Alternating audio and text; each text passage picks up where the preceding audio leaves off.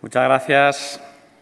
Quiero saludar en primer lugar al ministro que nos acompaña, al alcalde de Íscar, por supuesto, que ejerce de anfitrión, a todas las autoridades, al presidente de las Cortes, vicepresidente y miembros del Gobierno regional, al presidente de la Diputación, a los miembros de la Mesa de las Cortes, al director general y a los editores de Digroup y de Promecal, en fin, a todas las autoridades a todas las mujeres y a los hombres del campo y a todas las personas de este magnífico y maravilloso municipio. Es un placer para mí participar en esta sexta edición de los Premios Surco, ya se ha dicho, son los Oscars del campo en Castilla y León y como también se ha dicho, em, habéis vuelto, hemos vuelto con más fuerza y con más ganas que nunca. Es desde luego un homenaje a las mujeres y a los hombres que se dedican a la agricultura y a la ganadería, porque vosotros sois el alma de nuestros pueblos. En una comunidad como la nuestra, Castilla y León, que somos el corazón agrario de España, tengo que agradecer en primer lugar a Castilla y León Televisión y también al Banco de Santander y a todos los patrocinadores por premiar el esfuerzo, promover el reconocimiento de un sector que, como ya se ha dicho, ha sido crucial durante la pandemia. Estáis realizando una gran labor de difusión de las señas de identidad de Castilla y León, entre ellas la agricultura y la ganadería. Y es muy necesario dar a conocer el talento, el esfuerzo, las esperanzas, los desvelos diarios de las mujeres y de los hombres que viven y que trabajan en el campo que dais vida, como decía antes, a nuestros pueblos, que sois nuestra gran palanca demográfica y hacéis de la agroalimentación la mejor embajadora de Castilla y León. Estamos muy orgullosos de todos vosotros y de vuestro sector. Enhorabuena a los finalistas y, por supuesto, especial enhorabuena a los premiados que reflejáis plenamente todos estos valores con vuestras magníficas explotaciones agrícolas y ganaderas, como la de Santiago Domínguez en Valladolid o la de los hermanos Puebla en Palencia, con un estupendo olfato empresarial ejemplificado por la pyme Piedra de la Banda y una voluntad constante de innovación como está en la base del servicio agronómico de ACOR. También en vuestra calidad de personajes de nuestro campo, con esa magnífica mujer rural todoterreno que es Manuela Vidal y con el empuje de los jóvenes que vienen pisando muy, muy, muy, muy fuerte como Miriam Delgado. Las dos se han emocionado mucho. Y su emoción era nuestra emoción, era mi emoción también.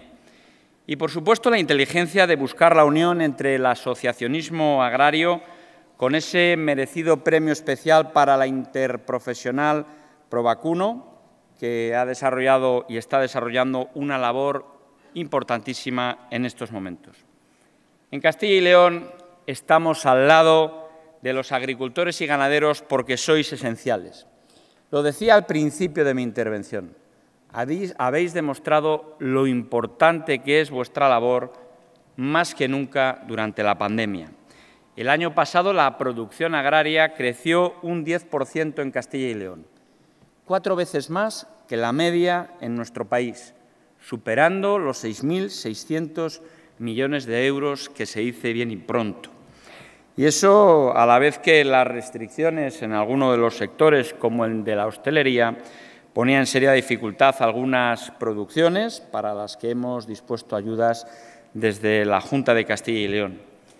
En esta comunidad estamos impulsando la modernización de las explotaciones, lo recordaba el ministro, casi 2.000 en esta legislatura, con un apoyo público de más de 75 millones de euros y estamos transformando también las infraestructuras agrarias con un objetivo de la Junta a corto plazo para actuar en 30.000 hectáreas de regadío, porque llevar agua al campo es llevar vida y es llevar población a nuestro mundo rural.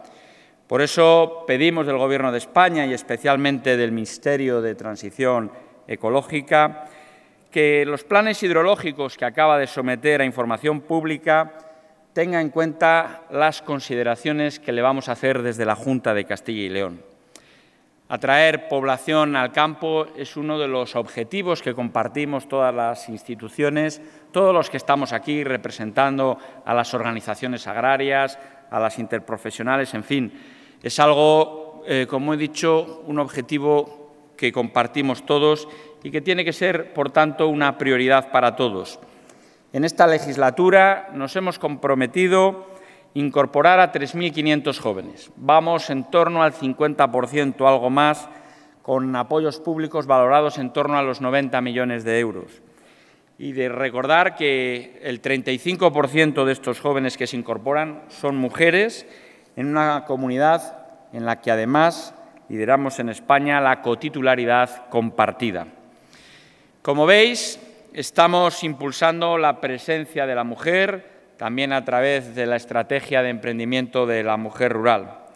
Y este mismo mes vamos a presentar el nuevo Plan de Agricultura y Ganadería Joven con algunas medidas novedosas para rejuvenecer el sector.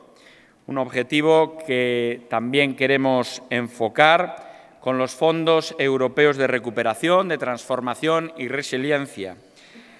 Querido ministro de Agricultura, Pesca y Alimentación, esta semana se acaba de cerrar el debate europeo sobre la nueva PAC, en líneas generales. Quiero reconocer tu esfuerzo y el de tu equipo en la defensa del interés de los agricultores y los ganaderos españoles en una negociación para la cual ya sabes que has contado con el apoyo de la Junta de Castilla y León.